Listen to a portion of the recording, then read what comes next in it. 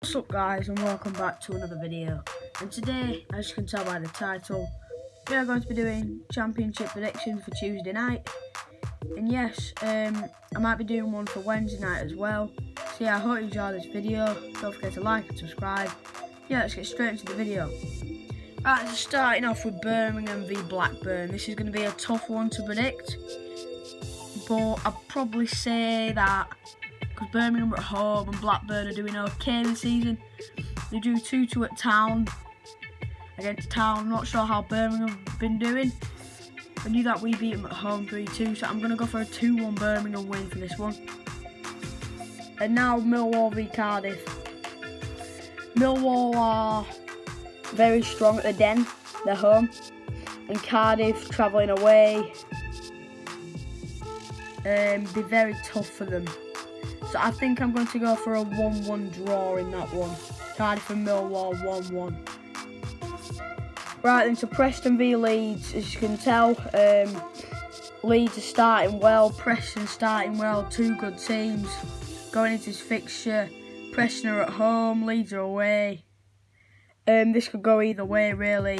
Um, I can't see it being a draw, um, but not being biased or anything, I think I'm gonna go. Um, I don't know, you know. This is a tough one. Um, I think I'm gonna go for a. I know I said not a draw, but I think it after thinking about it, I think it's gonna be a 2-2 draw. So a 2-2 draw for that one, and I think for Leeds. Um, think Alioski and Bamford will score. And then for Preston, I think Gallagher and Browne will score. So yeah, that's my score prediction for that. And now QPR v Reading. Both of these teams aren't doing that. No, QPR are doing well. Well, Reading aren't. So I think there's there's not anything to do on this one. It's just an easy prediction. It's like it's just. I think it's.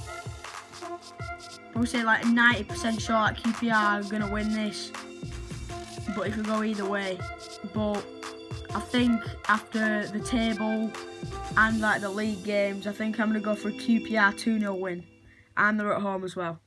So now Sheffield Wednesday v Stoke.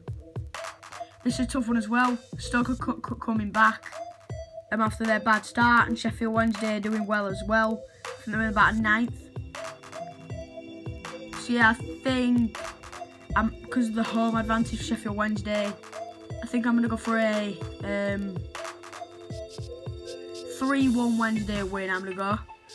And now moving on to Swansea City versus Brentford. Swansea are doing really well this season, but Brentford aren't doing as well. Um, beating 3-0 Derby, which wasn't good for me, because obviously I'm a Derby fan. But yeah, um, I can see Swansea winning this, but I can see Brentford scoring. So I'm going for the same result as I predicted for Sheffield Wednesday Stoke, because the Swans have the home advantage, and Brentford don't do that well away from home. So I, I think I'm going to go for a 2-3-1 Swansea win.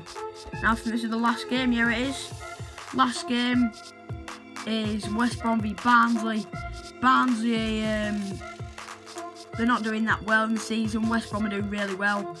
Um, top of the league, I think West Brom are. Barnsley about, I think they're about 20th or 21st. Or I know that they're either in the the in the bottom five teams um, at the bottom of the league.